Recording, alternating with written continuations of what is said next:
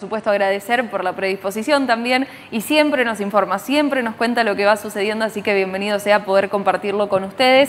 Hablemos de Fabián Gallego, profe de Educación Física, entre tantos otros roles dentro de la comunidad, dentro de, dentro de la sociedad e integrante de diferentes instituciones, pero en este caso con experiencias que venís teniendo en este último tiempo, que tiene que ver con ser parte de diferentes eventos deportivos a gran nivel y no precisamente desde adentro quizás de la cancha como jugador, sino con otros roles que también se deben volver fundamental. Así que Fabián, buenas tardes, ¿cómo estás? Hola, muy buenas tardes Renate y bueno, muchas gracias por, la invitación.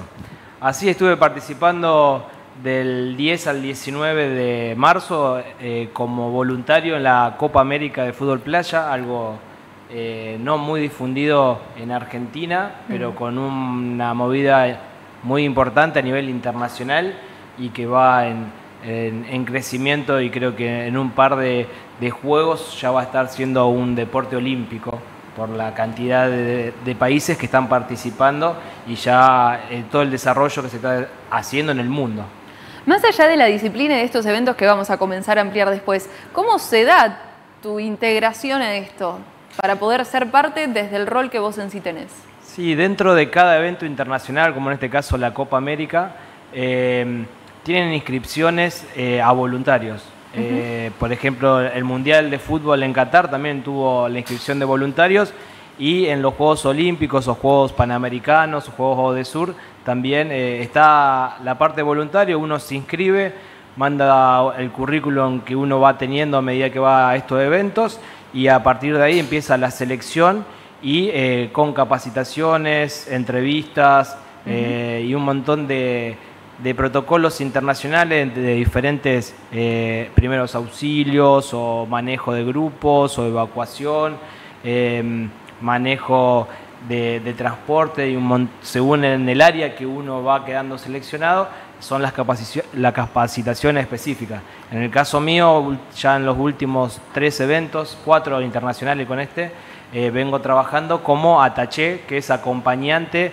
de la delegación en este caso fue la selección de Paraguay, que es una de las mejores, eh, después de Brasil, está Brasil, después de Paraguay en selecciones de fútbol playa. Es decir, una potencia en lo que es América. Y en este caso también preguntarte, porque hacías mención, creo que has estado inmerso también en el mundo de los bomberos voluntarios o mi mente me confunde. Sí, sí, también estuve... Hacías mención de algunos requisitos que seguro tienen que ver o la práctica de los bomberos voluntarios te ha enriquecido para aprender estas herramientas. Sí, en realidad eh, la base mía es profesor de educación física y a la hora de empezar a trabajar como voluntario en estos eventos que son deportivos, el título de profesor de educación física es el que prevalece, porque los primeros juegos que estuve participando fue en la parte técnica deportiva, eh, es decir, eh, en un deporte específico, que en ese momento eh, fueron los Juegos Olímpicos de la Juventud y los ODESUR, que estuve en la parte de atletismo. Es decir, a, partir de mi título de profesor de educación física, me empezó a abrir las puertas a lo que es el voluntariado y después, bueno, uno va conociendo, va conociendo otras áreas y el de Ataché, que es el acompañante de, delegaciones eh, y el nexo entre las organizaciones, un trabajo full time de las 24 horas estando con los deportistas, dirigentes, eh, presidentes de, comités olímpicos o también de asociaciones. Y bueno, es un trabajo muy lindo y el contacto directo con con los deportistas es lo, más enriquecedor que uno tiene y más que uno le gusta el deporte. Exacto. Bueno, y en este caso, ¿quién es el que regula la selección o la convocatoria de todas estas personas que como voluntarios en diferentes roles, en este caso vos sos uno desde Venado Tuerto? ¿Cómo se regula esto? En este caso, eh, el encargado de hacer la selección fue AFA, el área de fútbol playa, que a su vez pidió colaboración eh, a Rosario, a los, las personas que estuvieron encargadas de los Juegos Suramericanos Junior que se hicieron en junio del año pasado. Yo había quedado en esa ocasión como voluntario de Ataché, de acompañante del Comité Olímpicos, y bueno, eh, de todo el grupo de Ataché que había, quedamos seleccionados siete de las 11 delegaciones, porque cuatro Ataché fueron eh, llevados por AFA y el resto éramos siete Ataché que fuimos seleccionados de trabajos anteriores nuestros en, justamente en Rosario. Pero esta selección la hizo AFA y bueno, después pasó a, a, Conmebol, que es algo que, lo, que es máximo a nivel fútbol en lo que es Sudamérica. Exacto. En este caso, ¿hubo algunos otros santafesinos? Eh, de Santa Fe, eh, del interior, de Rosario, era yo solo, fuera de Rosario. El resto eran todas personas de Rosario. Entonces también eso era algo bueno de, quedar seleccionado fuera de lo que era de Rosario. Entonces era una experiencia y más que le llamaba la atención eh, a, las a los dirigentes de la Asociación de Fútbol de Paraguay era que seamos voluntarios. Eso es algo que ellos no están acostumbrados eh, a lo que es cuando van a los mundiales o Copa América. Eh, generalmente son rentados, pero en este caso fueron, fuimos voluntarios y eso es algo que marca la diferencia eh, a las otras opciones. ¿Cuál es esa motivación? Porque vos decías, nos gusta el deporte y enumerabas algo de lo que te da estas experiencias, pero ¿cuál es la motivación? Porque vas a trabajar, vayas de voluntario o con un percibimiento económico, vas a laburar en un ámbito formal, ceremonial, donde debe estar el disfrute, la distensión, pero ¿cuál es esa motivación que vos decís, bueno, lo quiero hacer porque... Sí, es la experiencia. Eh, todos creo deportistas soñó con ser un deportista profesional. He llegado a jugar al fútbol eh, en selecciones venadense, he jugado eh, en el fútbol en Venado, pero bueno, eh, ese amor al deporte, el de conocer deportistas de alto rendimiento, el de entrar en contacto y, que seas parte de, de las delegaciones, algo que uno siempre soñó, soñó uno jugar en una Copa América o un Mundial y bueno, uno lo puede hacer eh, quedando seleccionado y siendo parte, por ejemplo, de, la selección de, Paraguay, me hicieron parte de ellos, participaba desde eh, el contacto con el técnico hasta el último eh, futbolista y estaba con ellos en todos los detalles, coordinando transporte, custodia, alimentación y también dentro del vestuario, estando con ellos en la arenga, eh, esas experiencias que uno no lo pudo vivir como futbolista profesional, entonces da la oportunidad en este caso de vivirlo con otro rol, pero ser parte. Y eso es algo que uno lo disfruta, va aprendiendo, eh, uno va como profe y va tomando detalles para aprender y eso uno, uno no se olvida y más la sensación, la adrenalina de la competencia, eh, y que también eh, es disfrutarlo. Mm. Uno arranca, yo arrancaba particularmente antes del desayuno, yo ya estaba en contacto con el personal del hotel y cuando todos iban a dormir, nuevamente entraba en contacto con el personal del hotel para programar el día siguiente y a su vez eh, mi función como ataché era contacto con Conmebol, AFA la Asociación de Fútbol de Paraguay, que estaba el presidente de la delegación, y a su vez eh, hacer de nexo y la agenda al día siguiente y que todo es eh, a rajatabla y hasta coordinar eh, cuando pasaban los horarios de televisión, las salidas desde el hotel hasta el lugar, la bajada para las cámaras, el contacto con la prensa, es decir, son experiencias lindas para vivirlas y, esa es la, adrenalina, el sabor. También el de hacer un trabajo voluntario tiene otro sabor, eh, porque uno va, lo hace porque le gusta y es diferente a, la parte rentada. Mm. Por eso eh, disfruto mucho ser voluntario. Eh, porque se vive diferente.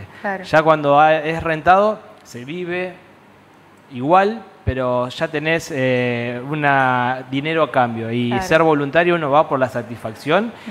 y, el, de disfrutar a pleno eh, y sabés que estás ahí porque vos quisiste y no porque te contrataron. Entonces es un sabor eh, diferente.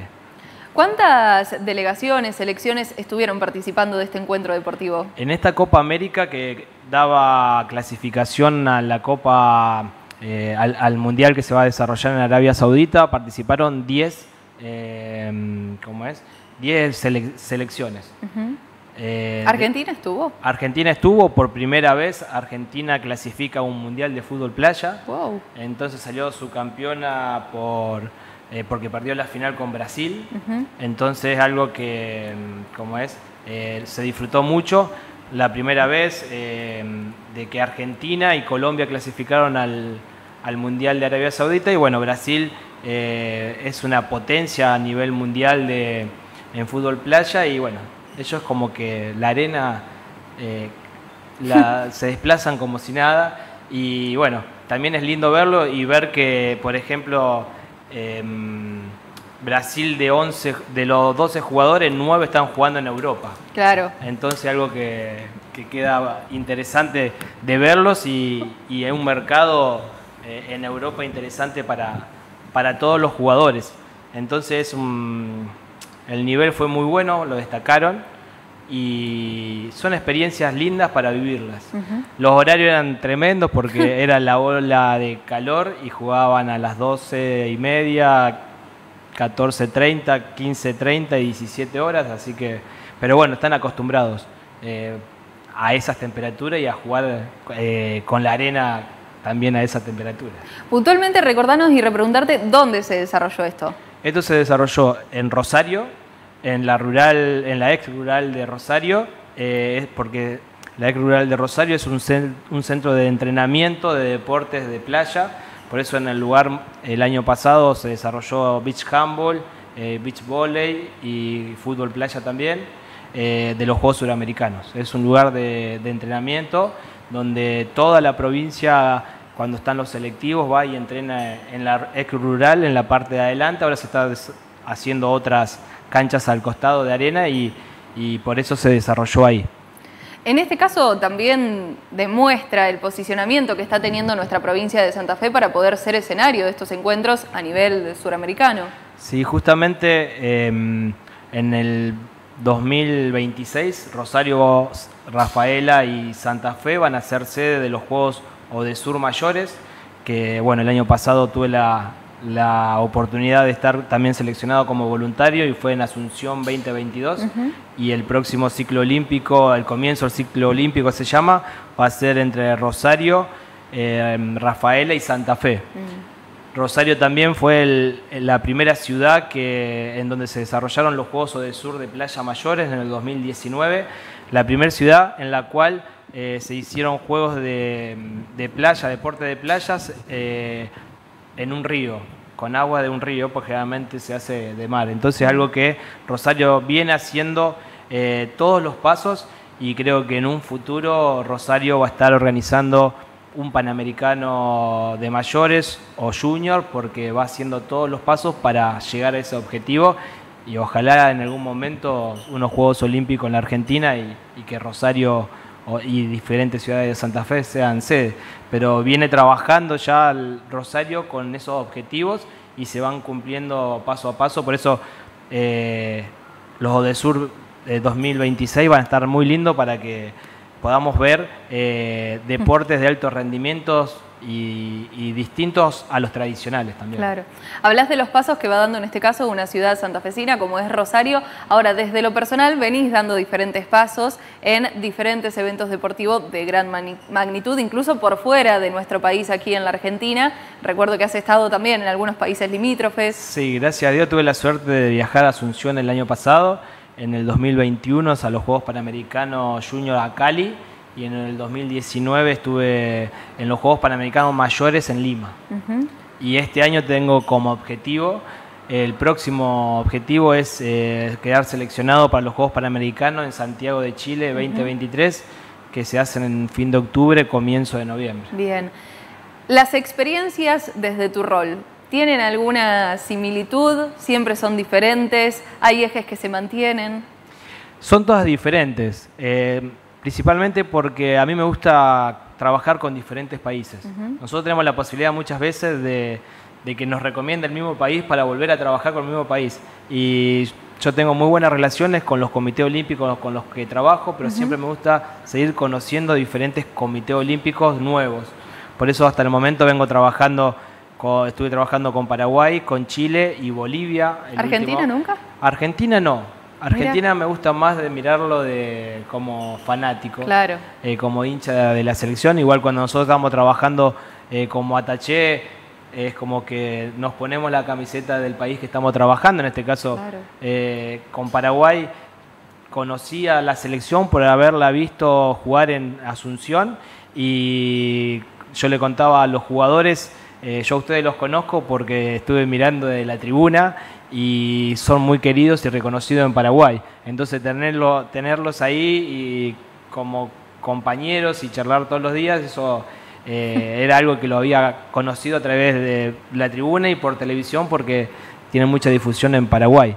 Pero siempre busco eh, eso, ir conociendo diferentes culturas, diferentes países, diferentes realidades. Eh, entonces algo que son todos diferentes.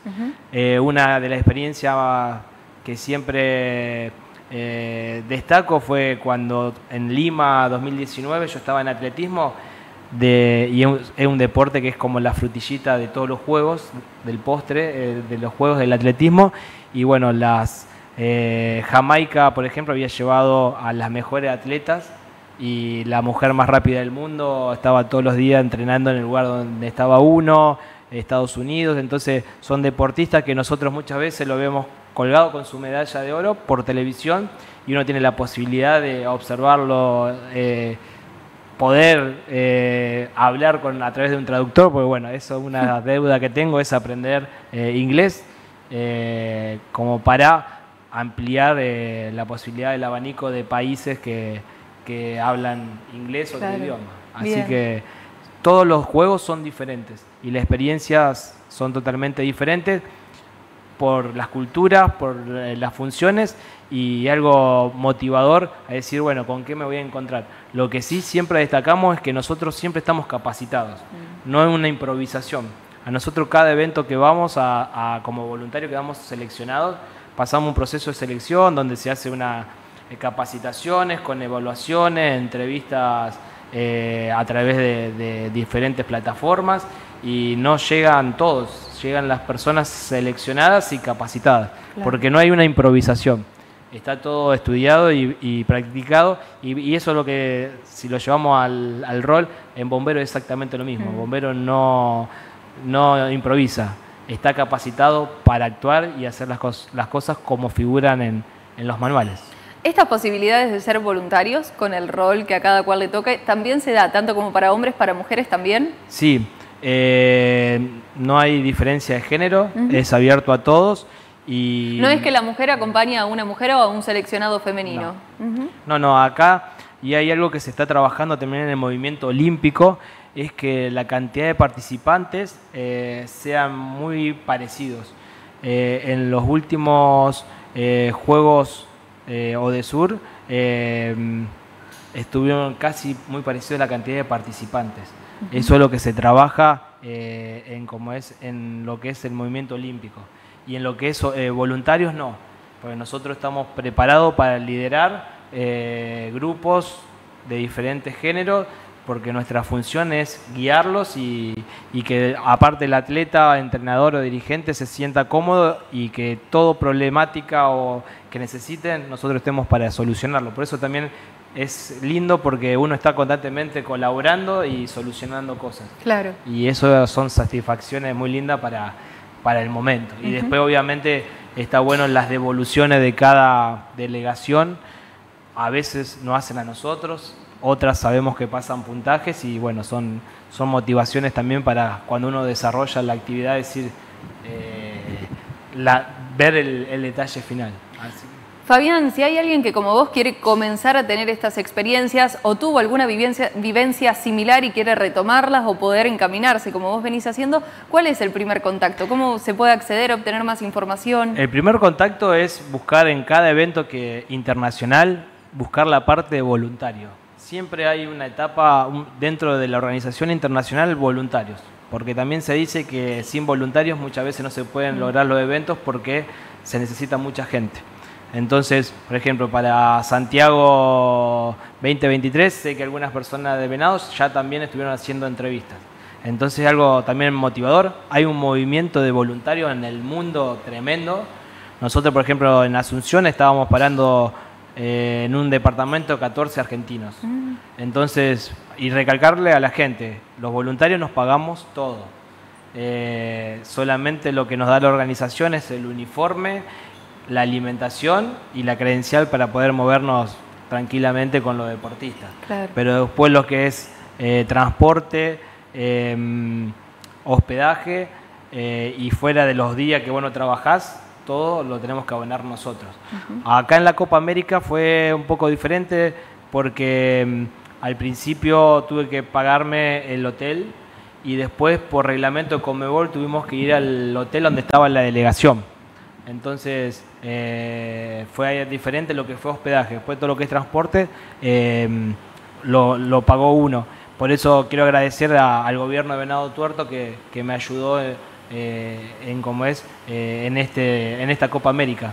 Entonces algo que, siempre nosotros vamos haciendo nuestros nuestra planificación de gastos y hay un movimiento, como te comentaba, de, de voluntarios a nivel internacional impresionante.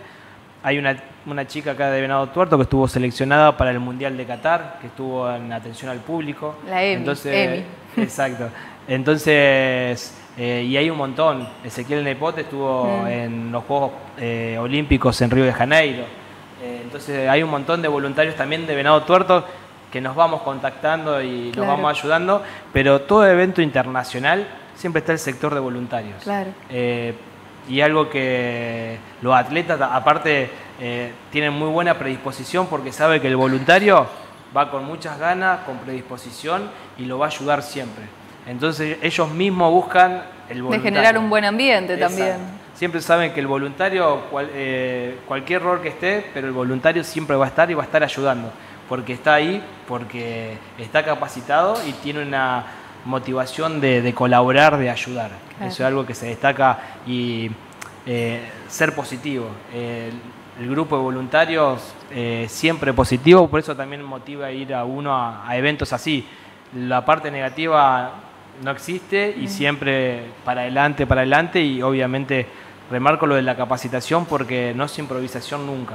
Por eso siempre estar capacitado es importante en la vida, en todo lo que hacemos. Bien. Bueno, yo te preguntaba si hombres, mujeres de cualquier edad, y ahí dabas el ejemplo de Emilia Lombardi, que es una joven que tiene, estimo que te referías a ella, que fue al Mundial, que tiene alrededor de 20, 22 años. Sí, está terminando la carrera de profe, de, educación, física. Exacto, y tuvo la posibilidad de ir al Mundial. Pudimos charlar con ella también aquí a través del VerTV, así que una experiencia para todo público.